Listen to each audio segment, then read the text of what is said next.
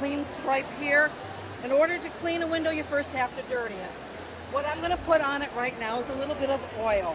Now this is Crisco oil, more than what you'll ever have in your kitchen. We use this to represent the items that you would get from smokestacks onto your car because you want to use this on your automobile as well as your home, mirrors, whatever. The other thing that I'm going to use is hairspray. This is the Super Hold Aquanet. We're going to spray that on and that represents all those sticky things like the sap. The final thing is the handprints from the kids, the nose of the dog and all those things, okay? All I have in here is dish detergent and water. We use the Dawn because it cuts grease faster than anything. You want to use very little. You don't want it to be so wet that it's going to run down the window. You want to go up and down with the pad. Once you reach the top, you're going to pivot it down so that both things are touching the window at one time. So you're actually going to pivot and draw.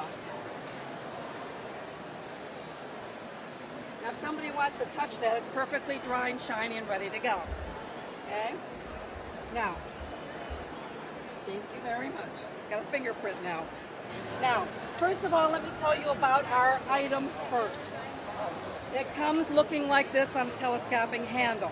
I want to show you the quality because it is a top quality item.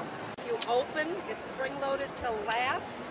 Everything else is push button, so nothing's going to break. Push the button and release it.